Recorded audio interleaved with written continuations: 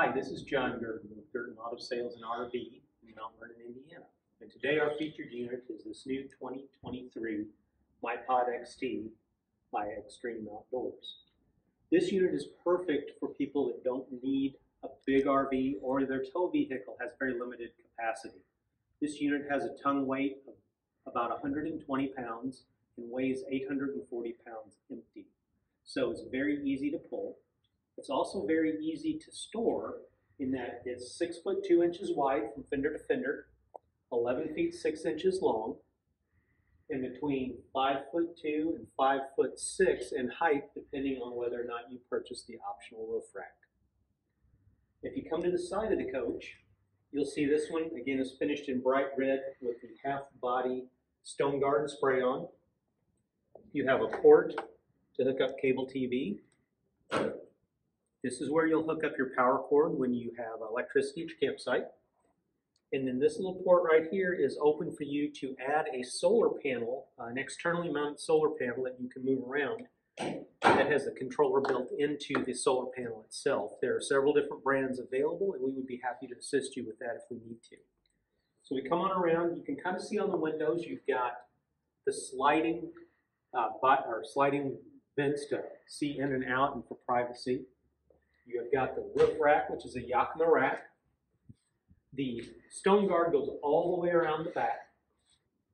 LED lights, LED porch light. Magnetic door catch, which is really a nice feature. You don't have to hook it and have the latch break on you. So that makes things very easy. Alloy wheels are standard equipment. Due to the fact that this coach is so lightweight, it is not required to have trailer brakes, but you will have to have an RV seven-way receptacle on your tow vehicle that will allow the operation of your road lights and also charge your battery while you're going down the road. The MyPod may be small, but it comes with great and comfortable interior features. In your door, you have a sliding window with screen, which you can use in conjunction with your roof-mounted ceiling fan to draw in cool air in the evenings. If it's a little too warm for that, we do have an air conditioning system mounted in here, along with a television and entertainment center, 110 volt outlets and 12 volt outlets and USB outlets.